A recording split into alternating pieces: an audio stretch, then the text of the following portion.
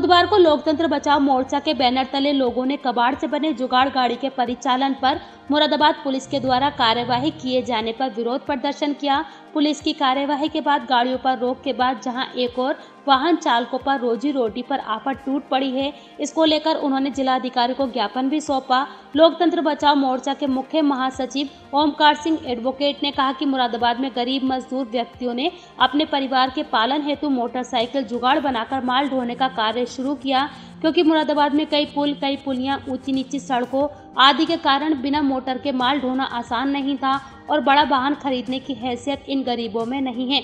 Police प्रशासन इन मेहनतकश गरीब व्यक्तियों के मोटरसाइकिल जुगाड़ को पकड़कर सीज कर रही है। पूर्व मुख्यमंत्री राजनाथ सिंह के द्वारा उत्तर प्रदेश में जुगाड़ चलाना फ्री कर दिया गया था। जिला मुरादाबाद की पुलिस इन गरीबों पर अत्याचार कर उत्तर प्रदेश सरकार की छवि खराब कर रही है। इन गरीबों ने पूर्व में भी अपने हक का आंदोलन किया था। जिसमें सरकार के दखल प्रशासन के बाद ये जुगाड़ चलाना फ्री कर दिया गया परंतु अब पुलिस इन पर फिर अत्याचार कर रही है। इस मौके पर वसीम यासीन मंगल सिंह मलखान सिंह सूरज आदि लोकतंत्र बचाओ मोर्चा के कार्यकर्ता मौजूद रहे। देखिए आज लोकतंत्र बचाओ मोर्चा के बैनर तले ये जो आंदोलन है ये आंदोलन उस स्लोगन को लेकर है कि हमारे जो प्रधानमंत्री हैं हमारे जो मुख्यमंत्री हैं, उन्होंने एक स्लोगन दिया था, एक पैगाम दिया था कि आत्मनिर्भर बनो।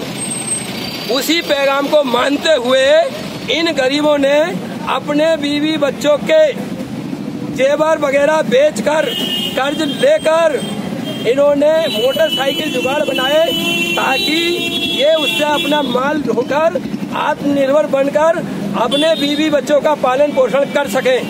पर यहाँ की जो नकारा पुलिस है जिसे हराम की खाने की आदत पड़ गई है इनकी जो इन, इनका आत्मनिर्भर का ये रोज़गार इनके जो है आँखों में करकने लगा और ये इसको जो है बंद करने लगे।